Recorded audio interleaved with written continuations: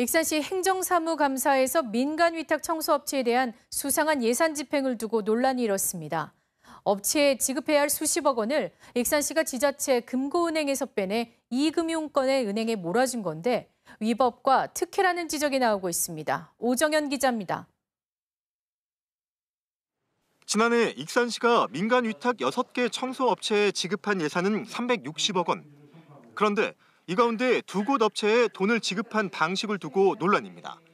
시 금고 업무를 맡는 은행에서 돈을 빼내 이 금융권 은행에 돈을 옮긴 뒤 지급한 건 법적으로 문제가 될 수 있다는 주장이 제기됐습니다. 이런 식으로 시 금고가 아닌 제2금융권에 예치된 돈은 지난 한 해에만 78억 원에 달합니다.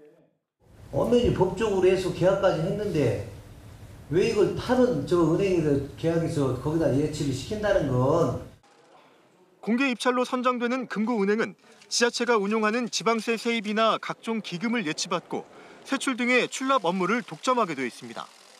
이걸 어기고 이 금융권 은행으로 돈을 옮겨 예산을 집행한 건 특혜를 주기 위한 것이란 의혹이 나옵니다.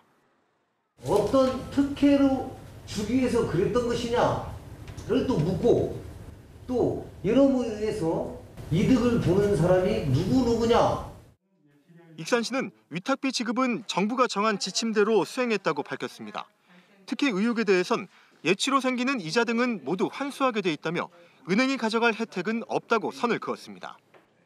만약에 예치된, 예치된 부분에 대해서 어느 일정의 기간이 경과해서 이자가 발생된 부분에 대해서는 정산해서 다시 하는 절차를 거칩니다.